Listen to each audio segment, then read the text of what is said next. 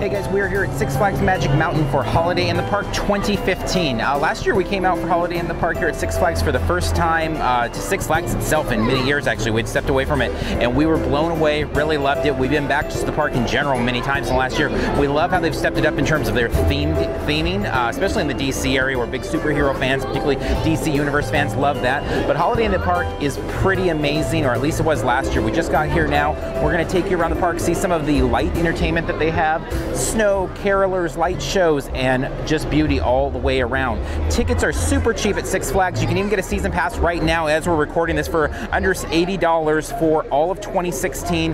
Then you can come for Holiday in the Parks in December. In addition, they even have things like sipper bottle, drinks, free refills all year, 20 bucks right now. So all of 2016 you can drink for practically free, $20 for the whole year. So tons of great deals, tons of great entertainment, lots of fun with the theming that they've introduced to the park in the last couple years here. Let's take you for a look around at Holiday in the Park 2015.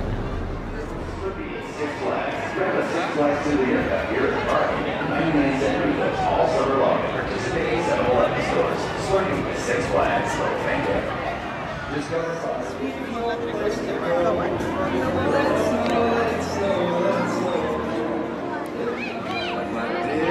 We're still as long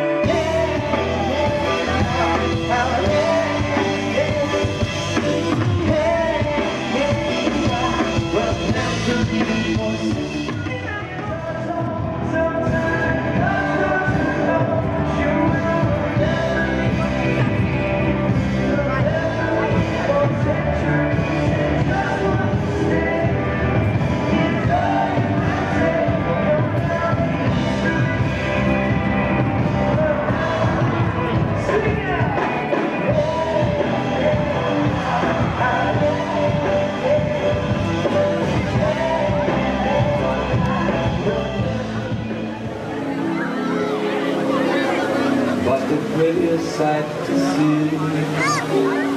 Is the holly that bloom on your own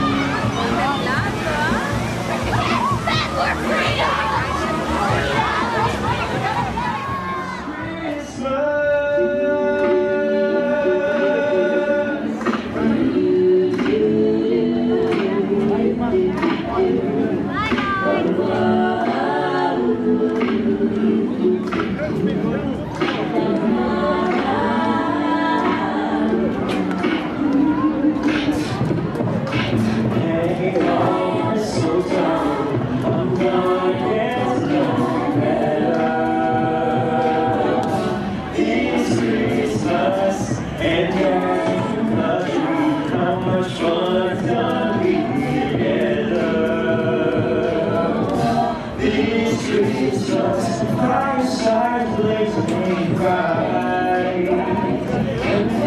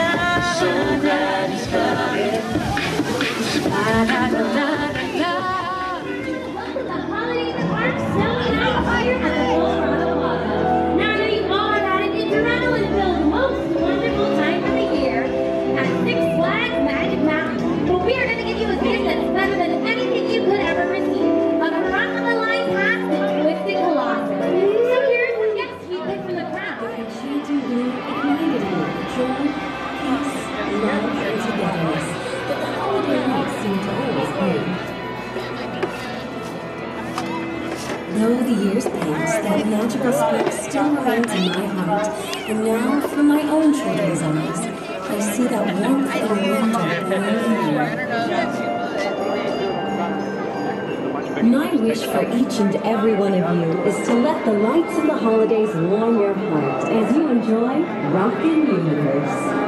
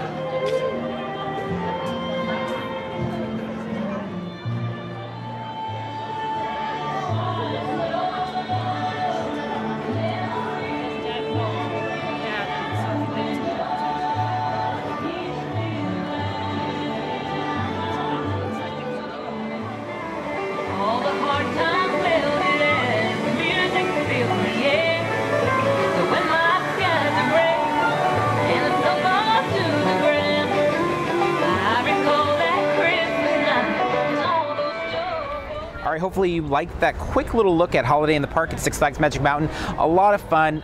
This immersive environment is awesome. I mean, the word immersive is uh, overused a lot of times when talking about parks, but I can't think of a better word as we're uh, checking this place out today.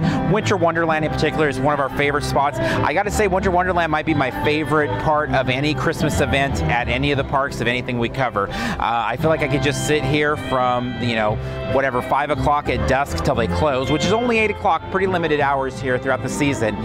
But just kind of people watch, snow watch, light watch. It's really, really fun uh, and just a great place to be all the way around. Again, as we noted in the intro, the prices are amazing here. When we talk about this being a good event, it's not just a good event for the price, it's just a really good event. Um, honestly, if you're going to come and say, well, I want to do a Christmas event, a holiday event, I want to get in the holiday mood, uh, should I head to Disneyland or should I head to Six Flags Magic Mountain? I would tell you to head to Six Flags Magic Mountain. And I don't think that's a typical answer that people would expect. And I know it's not an answer that we would have expected prior to covering the event over the last couple of years. So highly suggest getting out here to Six Flags Magic Mountain, checking it out.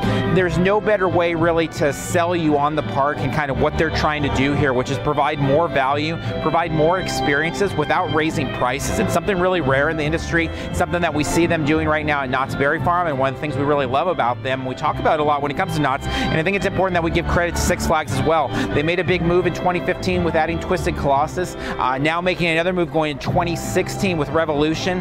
But events like this, what they did with Fright Fest, you know, all of these things being non-hard ticket events, things that are just included in a regular admission price, huge kudos to the entire team for putting this together. So definitely get out here to Holiday in Park, enjoy it, have a good time.